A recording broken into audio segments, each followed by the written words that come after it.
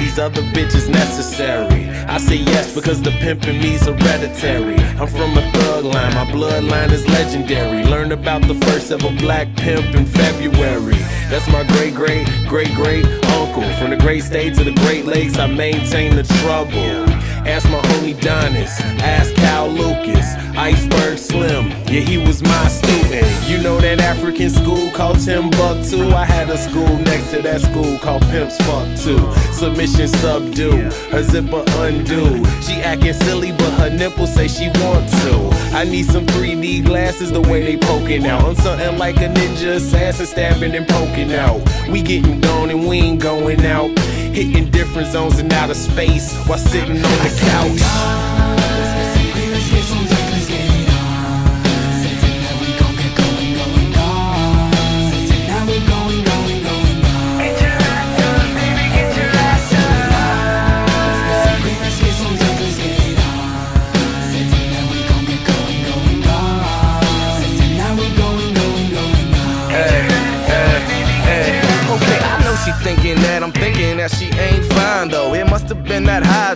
Got my eyes closed. And it must have been that blindfold that got her tired rolled. She said she wanna fuck me till I put her in my line of notes.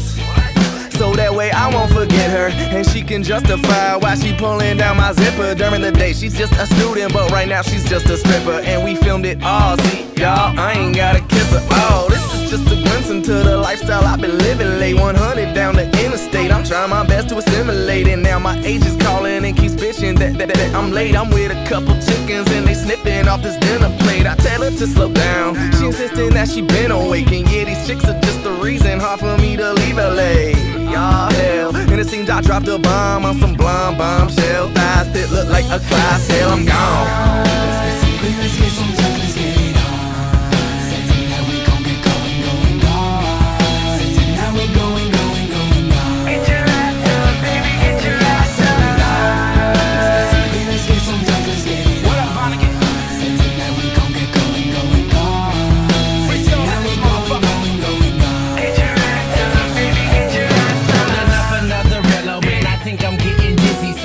a couple blissies to get back on my grizzly. Cause tonight we getting gone. If you with me, come along. We gon' get so fucking fucked up, you gon' do some